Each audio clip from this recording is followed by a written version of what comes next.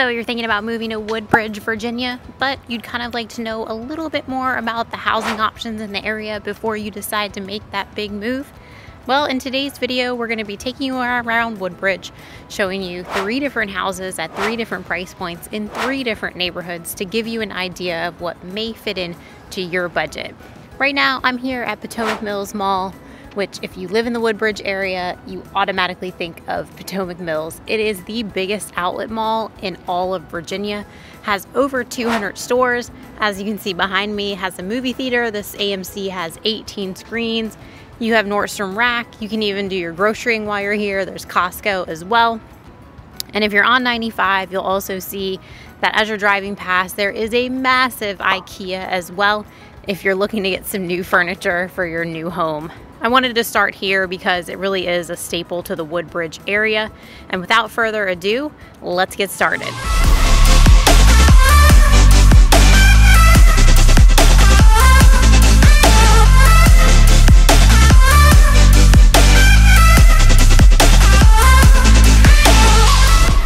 If this is your first time on the channel and you want to know everything there is about eating, sleeping, working, playing, and living in Northern Virginia, be sure to hit that subscribe button and tap that bell for notifications so that you'll never miss a video.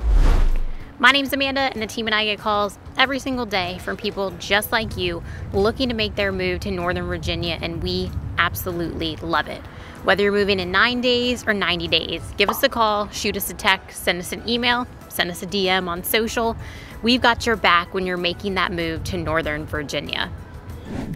For our first property, we are in the Lake Point condo community, and this is located about 10 minutes off 95. So if you're going to be commuting to Fort Belvoir or Arlington or even into DC, you're not too far off the highway, which makes for a little bit easier commute because some parts of Woodbridge, it can be 15, 20 minutes once you get off of 95 to get you home.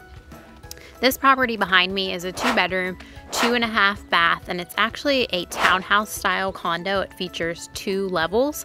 And with that, it comes with one reserved parking space, 1,240 square feet, and it was listed at 279,999.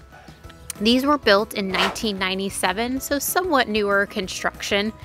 And the nice thing about this community is it has some great amenities. You've got a party room, you've got an outdoor pool, tennis court, and you have tot lots.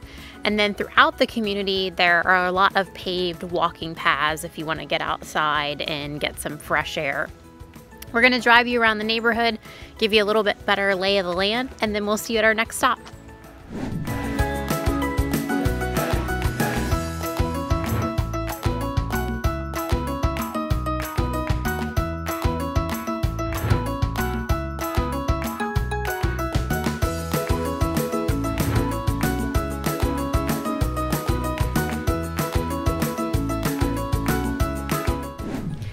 Our next house, we are in the Dale City neighborhood. This neighborhood does not have an HOA.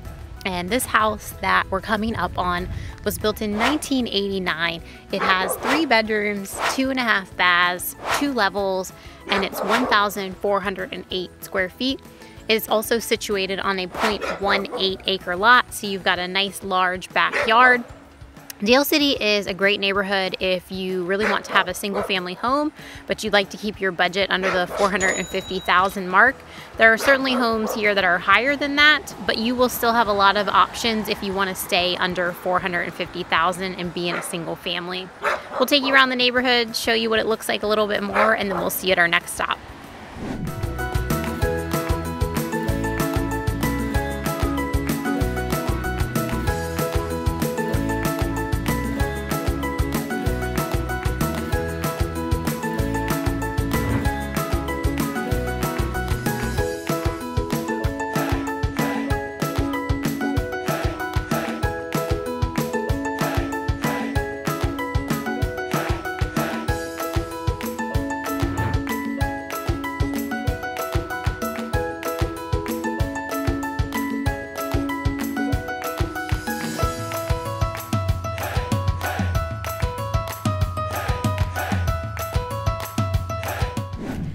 Our last house, we are in the Forest Vista neighborhood. This neighborhood is a little bit smaller, just a little over 60 homes. And this home that we're coming up on back here was built in 2001, has four bedrooms, three and a half baths, a two car garage, and it's situated on a 0.27 acre lot. Inside is 3,768 square feet and it's priced at 614,900.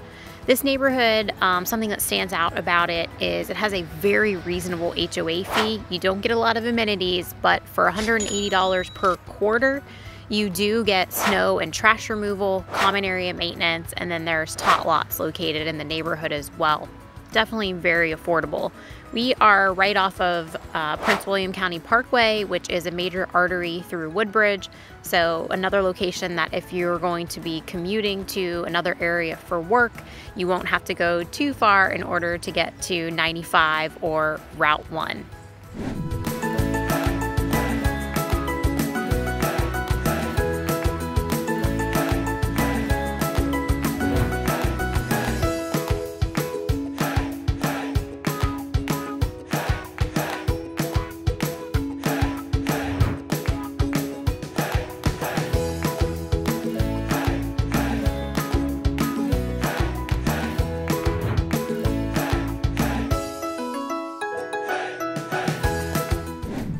That about wraps it up for our vlog of Woodbridge today. Woodbridge is home to 51,417 people. It has a median home value of $454,749 and the median household income in Woodbridge is $76,538. As always, whether you're moving in nine days or 90 days, give us a call, shoot us a text, send us an email, send us a DM, whatever works for you. We've got your back when you're moving to Northern Virginia. Until next time, we hope to show you around town.